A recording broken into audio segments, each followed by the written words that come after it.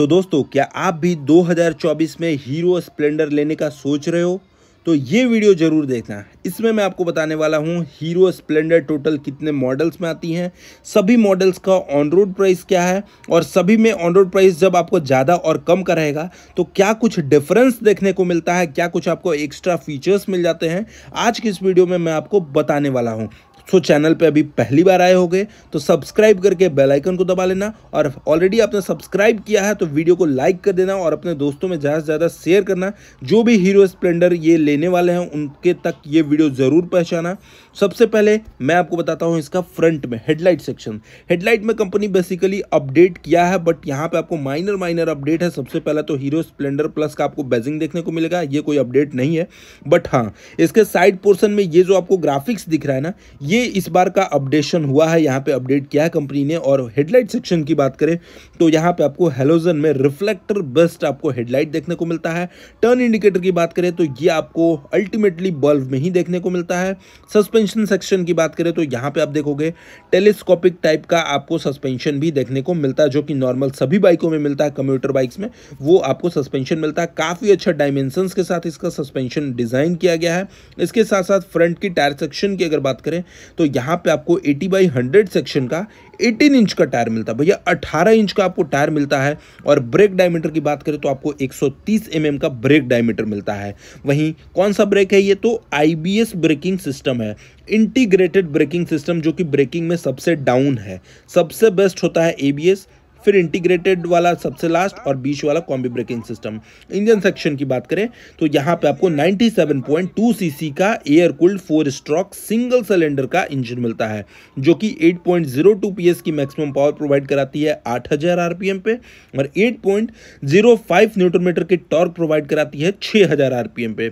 Gear section देख सकते हो four speed top gear box के साथ है किक मिलता है। ये जो बाइक है फुली फ्यूल इंजेक्शन है, इंजन का जो हेड है, उसका आपको लेटा हुआ मिलेगा, खड़ा हुआ नहीं मिलता है। पूरा का पूरा पावर स्टार्ट के साथ है फ्यूल इंजेक्शन के साथ है सिंगल हॉर्न के साथ देखने को मिलेगा।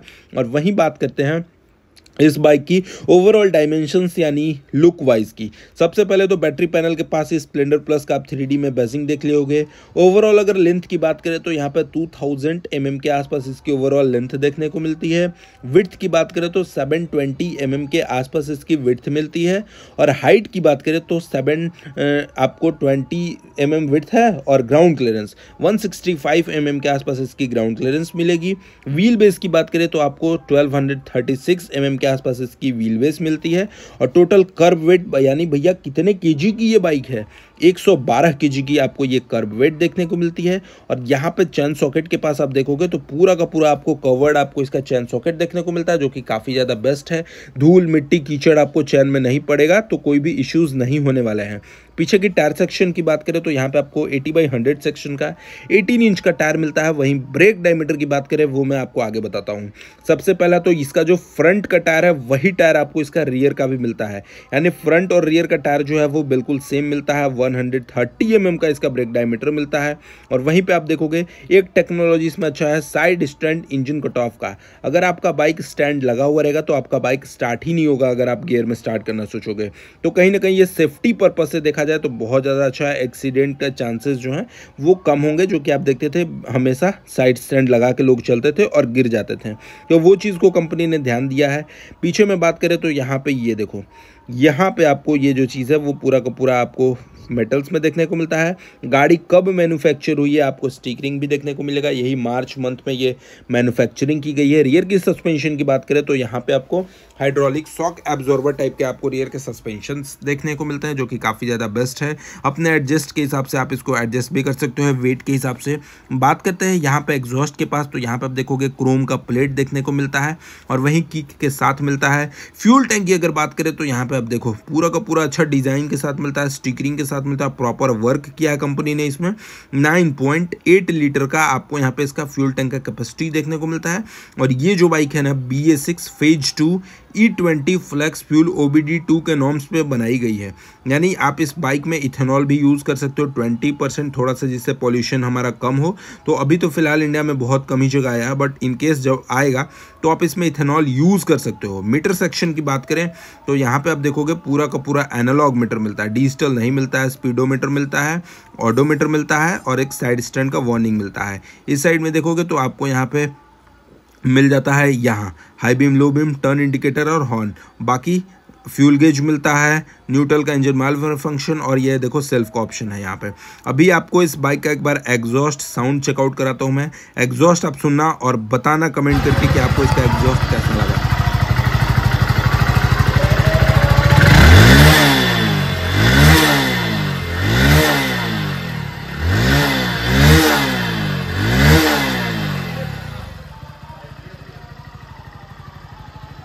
तो आपको इस बाइक का एग्जॉस्ट कैसा लगा? आप हमें कमेंट सेक्शन में ज़रूर बता सकते हैं। बाकी मीटर कंसोल देख ही रहोगे पूरा का पूरा आपको इसका एनालॉग का मीटर कंसोल देखने को मिलेगा। एक यूएसबी चार्जिंग सॉकेट भी देखने को मिल जाता है इसमें, जो कि बहुत ज़्यादा अच्छा फीचर्स के रूप में दे दिया गया है सेफ्टी के रूप में दे दिया गया है। और अब बात करते हैं प्राइस की। तो भैया, सबसे पहले तो यहाँ पर आप देखोगे हमारे सामने हीरो स्प्लेंडर की चार चार मॉडल हैं।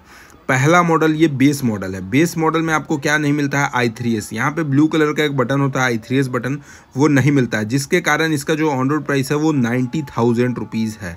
नब्बे हज़ार रुपये में ये आती है। और इससे ऊपर अगर आ जाते हैं तो इसमें देखो आई थ्री एस बटन मिलेगा। यहाँ पर आप चेक करो। यहाँ पर दिख रहा है आपको ब्लू कलर का आई थ्री एस बटन मिलता है। तो ये आई थ्री एस बटन से आपको इसका जो प्राइस है, वो नाइन्टी टू थाउज़ेंड हो जाता है। तो ये सारी चीज़ें हैं। इसके बाद सबसे ज़्यादा महँगी गाड़ी स्प्लेंडर की एक्सटेक एक्सटेक में आपको फ्रंट में एलईडी डीआरएल्स देखने को मिलता है। मीटर कंसोल इसका डिजिटल मिलता है। ग्राफिक्स बिल्कुल इसके बदल दिए गए हैं और यूएसबी चार्जिंग सॉकेट्स भी दे दिए गए हैं। मतलब थोड़ा सा अपडेट किया गया है और अपडेट करके इसका जो प्राइस आता है वो नाइन्टी फाइव थाउज़ेंड के आसपास हमारे यहाँ झारखंड आनंद ऑटो बाइक्स में आपको ये देखने को मिलता है। इसके बाद थोड़ा सा और अपडेट करके कंपनी ने स्प्लेंडर प्लस को ज़ीरो वन मॉडल निकाला जो कि पूरा का पूरा मैट के साथ मॉडिफाई किया हुआ है। इसमें आपको एक्स्ट्रा मॉडिफाई कराने का कोई ज़रूरत नहीं है। इसका जो प्राइस कंपनी ने निकाला है वो ऑन रोड प्राइस है हमारे यहाँ ninety three thousand ninety three thousand में आपको ये हीरो स्प्लेंडर की बाइक मिलेगी। तो ये था भाई हीरो स्प्लेंडर की सभी बाइकों की मॉडल और मैंने आपको प्राइस भी बता दिया। वीडियो आपको कैसा लगा कमेंट सेक्शन में ज़रूर बताइएगा। चैनल पे पहली बार होगा तो सब्सक्राइब करके बेल आइकन को दोबारा नहीं भूलिएगा। चलिए मिलते हैं नेक्स्ट डे नेक्स्ट वीडियो के साथ। तब तक के लिए धन्यवाद। जय हिंद, जय भारत, वंदे मातरम।